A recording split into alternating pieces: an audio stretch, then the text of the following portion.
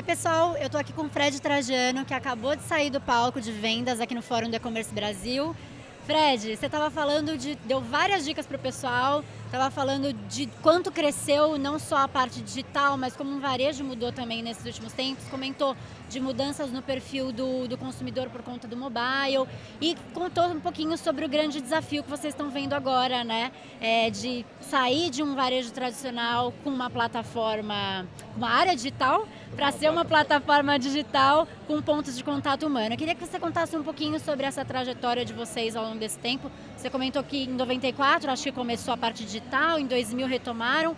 Faz um wrap-up um pouquinho disso, de como vocês vêm trabalhando isso, porque vocês, como vocês tornaram essa instituição, né, de trabalhar super bem a era da experiência on e off, e o seu grande desafio agora. Olha, a nossa história ela é muito interessante porque eu digo que é um privilégio poder estar sendo um dos protagonistas, né, como companhia dessa área digital numa empresa de 60 anos.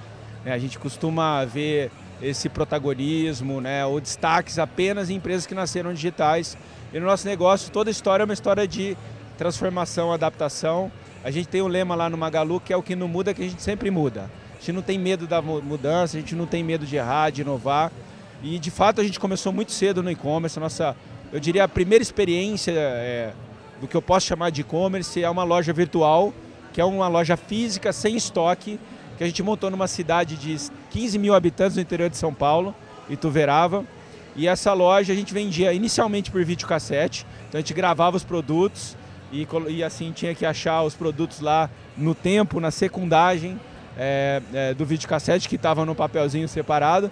E depois em 95 a gente já migrou esse modelo para um catálogo eletrônico, mas ainda num conceito quase de intranet, para de fato em 2000 a gente lançar um site para que as pessoas pudessem comprar fora do, da loja, né? Que acho que foi um, um, grande, uma grande etapa. Então, desde então, são 20 e tantos anos aí é, nesse mercado, acho com, com vários desafios, e eu acho que sempre com um princípio muito importante de integrar os canais. Eu nunca acreditei na separação do online do canal tradicional, por causa de algumas características específicas do Brasil, como o custo de entrega alto, como os impostos muito altos, taxa de juros muito altas uhum. e a venda sem juros que a gente tem e criou né, no, no, mercado de internet uhum. brasileiro 10 vezes sem juros no cartão, três vezes, eu acho que muito operador de e-commerce sofre com isso.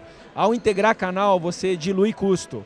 Você usa, por exemplo, uma loja para entregar produto do e-commerce, uhum. com um custo muito menor que você estivesse entregando diretamente com desses players transportadores mais tradicionais de mercado. Uhum. Né? Então essa foi uma visão que eu tive lá atrás e que a empresa apostou e que tem a gente colhido os frutos hoje com um e-commerce que representa quase 35% do faturamento da companhia e dá lucro, né? O que é muito difícil hoje, a gente vê vários operadores é, de e-commerce, várias empresas sofrendo nesse mercado. A gente teve a visão correta e muita disciplina é, de seguir o mesmo caminho ao longo desses anos com muita consistência. E esse desafio de, de mudar é, aquilo que você falou né, um pouquinho na sua palestra, de um varejo tradicional com a área comercial, é, área digital, para uma plataforma digital com pontos é, humanos, né? Como, quais são os próximos passos que você vê você fazendo, vocês fazendo para chegarem lá? Bom, é, Considerando é, que acho eu, que é o que a primeira empresa brasileira a se pensar dessa forma? É, a gente, a gente tem essa visão de plataforma digital com pontos físicos e calor humano, né? Calor humano. A gente tem cinco pilares, eu não vou entrar em todos eles, né? Só citando rapidamente, inclusão digital, digitalizar a loja física, a multicanalidade, Legal. a plataforma ser um marketplace e cultura. Tem um pilar muito importante que é cultura, que é a cabeça, a forma de trabalhar. Empresas grandes geralmente são muito top-down, uhum. muito hierarquizadas, muito avessas ao risco, tudo demora muito para acontecer. Uhum. Aí você chegam lá várias startups com a velocidade, senso de urgência e acabam revolucionando o mundo, né? O que aconteceu com a Netflix, o que aconteceu com a Airbnb, o que aconteceu com tantas outras empresas que surgiram do nada e hoje já são líderes do mercado e estão incomodando muitos incumbentes, que são as empresas é, mais antigas. Então eu trabalho muito lá isso, é, de não ter competição entre o físico e o digital, de ter muita integração entre os canais, de não ter medo de errar, de trabalhar com times pequenos, de apostar muito em tecnologia. Acho que uma empresa hoje não pode só comprar tecnologia, ela tem que desenvolver. Então a gente criou o Luiza Labs em 2010 e hoje eu tenho mais de 400 engenheiros de software no Magalu.